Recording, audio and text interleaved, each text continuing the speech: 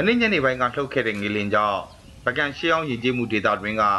အထင်ကြီးရစီရီတွေဖြစ်တဲ့ဆူနာမနီဇေရီထီလိုမင်းလိုဇေရီအပါအဝင်ဇေရီပေါင်း200နီးပါးထိခိုက်ပျက်စီးခဲ့ရတယ်လို့သာသနာရေးနဲ့ယဉ်ကျေးမှုဝန်ကြီးဌာနက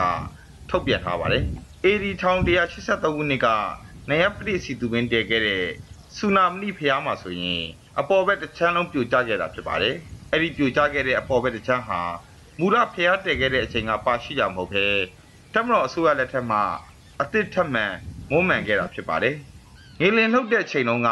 ပိတ်မိနေတဲ့ကဘာလက်ခီးသွားတွေကိုကယ်ထုတ်ခဲ့ရတယ်လို့ဆူနာမီဖျားပြိုကျချိန်မှာ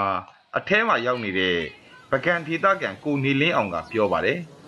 ပထမဆုံးကျွန်တော်တို့စမြင်လဲရတာဒီငလင်းလုံနေတဲ့အချိန်မှာကျွန်တော်ဒီဖျားထဲမှာရှိတယ်ဒါပေမဲ့ကျွန်တော်တို့ကြည့်လိုက်တဲ့အချိန်မှာဖျားကြီးက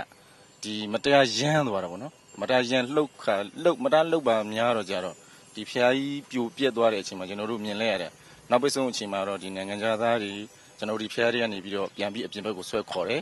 နောက်ပြီးတော့ဖျားကြီးပြိုကျတဲ့အချိန်မှာအုတ်ခဲတွေမတရားအောက်ကိုကျလာတယ်ပေါ့နော်နောက်ပိတ်ဆုံးကျွန်တော်တို့အဲ့မှာမြင်လဲရတဲ့ဥစ္စာကတော့လုံးလုံးဖျားကြီးမမြင်လဲရတော့ဘူး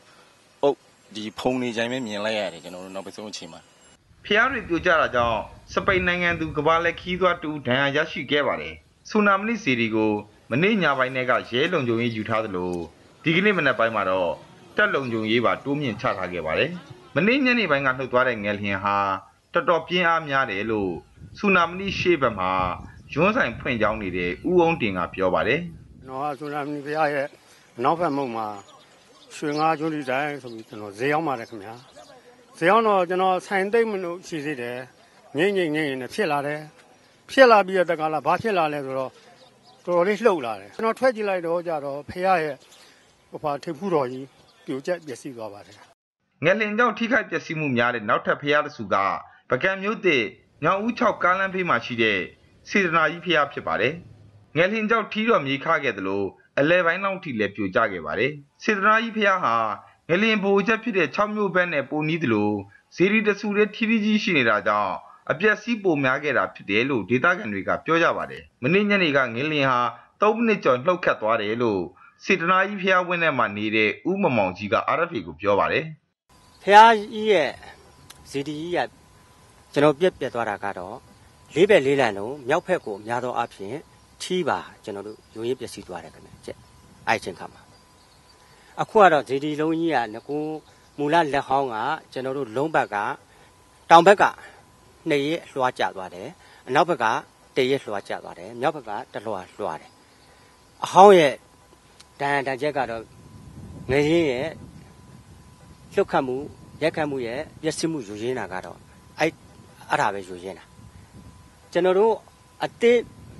အကုန်လုံးပြုပြင်မွမ်းမံထားတဲ့ဟာတွေကတော့အကုန်လုံးယူရင်းပျက်စီးသွားတယ်ငရင်းတာကြောင့်ပကံကိုရောက်ရှိနေတဲ့ကဘာလက်ခီးသွားတွေပြိုကျနေတဲ့ဖျားတွေကိုဝင်ဝင်မရတော့တဲ့အတွက်အခက်ကြုံနေရတာမျိုးလည်းရှိပါတယ်။ထီလိုမင်းလိုဖျားထဲမှာရဲကောတက်ပါလုံခြုံရေးယူထားတယ်လို့ ထီလိုမင်းလိုလုံခြုံရေးမှုဦးစုပန်းက RFA ကိုပြောပါတယ်အခုလုံခြုံရေးကဟိုတရင်ရဲတရင်ကလည်းယူထားတယ်ခလာရ19 6သူကလည်းယူထားတယ်တမဆွေးဆွေးဖြစ်လက်အောက်ခံမှာ။ဒီကနေ့နေ့လယ်ပိုင်းမှာပကံဒေသကိုရောက်ရှိလာတဲ့နိုင်ငံတော်သမ္မတဦးတင်ကျော်ကကဘာလက်ခီးသွားဧည့်သည်တွေနဲ့ပြည်တွင်းဖျားမှုတွေကိုထိခိုက်မှုမရှိတဲ့ဖျားတွေကိုဖွင့်ပေးဖို့နဲ့ထိခိုက်မှုရှိတဲ့ဖျားတွေကိုတော့အနိကလေးလာမှတ်တမ်းတင်ဖို့ တာဝန်ရှိသူတွေကိုတိုက်တွန်းခဲ့ပါတယ်ခင်ဗျာ။